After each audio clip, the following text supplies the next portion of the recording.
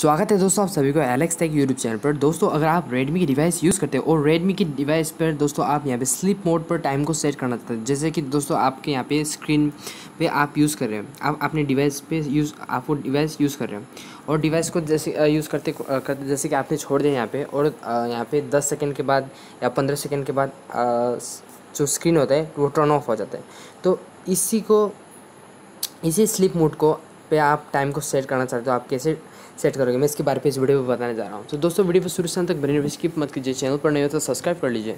Notification पर like उनको press कीजिए और वीडियो पसंद आए तो लाइक ज़रूर दीजिए। तो चलो दोस्तों, शुरू करते हैं। दोस्तों, सबसे पहले आपको क्या करना है? सेटिंग्स पे आना है।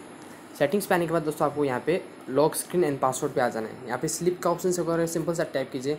अगर दोस्तों, आप नहीं चाहते कि आपका जो स्क्रीन है यूज़ करते करते जब आप छोड़ दोगे आप नहीं चाहते कि ये स्क्रीन टर्न ऑफ़ हो जाए तो आप नेवर पे टाइप कर सक सेट कर सकते हैं। अगर आप दस मिनट पर टाइप करेंगे तो दस मिनट के बाद यहाँ पे आपका स्क्रीन जो है वो ऑफ़ हो जाएगा। फाइव मिनट्स पे अगर से, सेट करते हैं तो फाइव मिनट्स के बाद। जैसे इस प्रकार दोस्तों यहाँ पे जितने भी समय दिया है रेडमी ने तो आप अगर आप आपके हिसाब से आपको जितने सेकंड के बाद या फिर मिनट के बाद आप चाहते हैं कि आपका स्क्रीन टर्न ऑफ़ हो जाए तो आप उसको सेट कर लीजिए। तो सिंपल सा प्रोसेस दोस्तों, इस प्रोसेस को यूज़ करके आप अपने रेडमी के डिवाइस पर स्लीप मोड पर टाइम को सेट कर सकते हैं। तो दोस्तों, आज के लिए इतना ही। अगर वीडियो पसंद आए तो चैनल को सपोर्ट कीजिए।